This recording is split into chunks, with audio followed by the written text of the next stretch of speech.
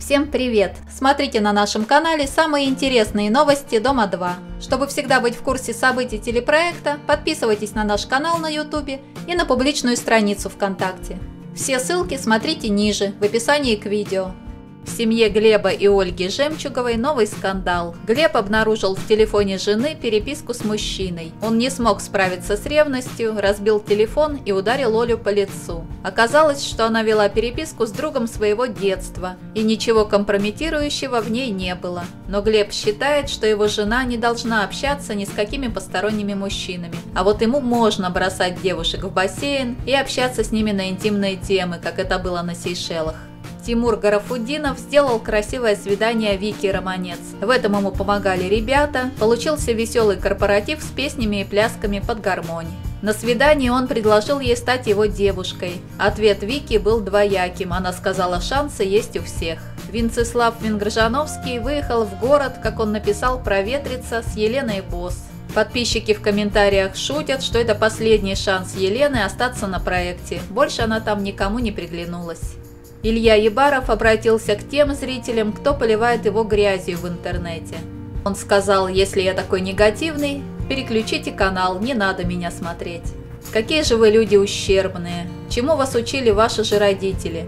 Мне кажется, что родители такие же никчемные, и вот из-за этого получились такие дети никчемные. У Алисы Селфи было день рождения. Поздравляем эту талантливую девушку. У младшей сестренки Марины Африкантовой тоже день рождения, ей исполнилось 15 лет. Татьяна Владимировна хотела бы, чтобы в будущем девочка тоже пришла на проект. Она пишет. Она младшая сестренка Марины, а порой даже кажется, что старшая. Все знает и дает советы. Скоро придет на дом 2 достойная смена и будут теснить тех, кому к 30.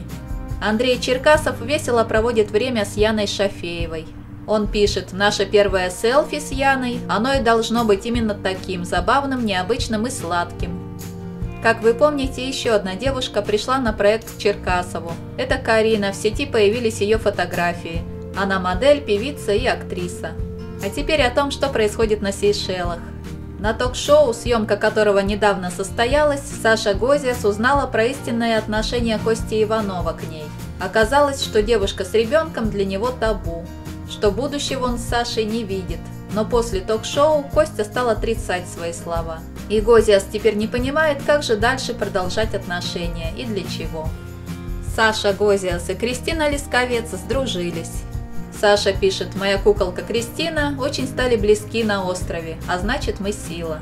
А Кристина ездила с Федей Стрелковым на рыбный фестиваль, где рыбаки соревновались, кто же больше выловит рыбы за два дня.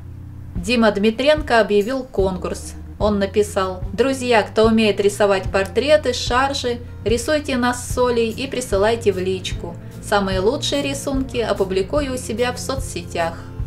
И еще одно приятное известие от бывших участников проекта. Алексей Самсонов и Юля Шаулина помирились. Юля простила Алешу, и они снова вместе. Многие подписчики считают, что ребята просто разыграли эту ссору, чтобы в очередной раз привлечь к себе внимание публики, потому что как-то очень уж быстро они помирились.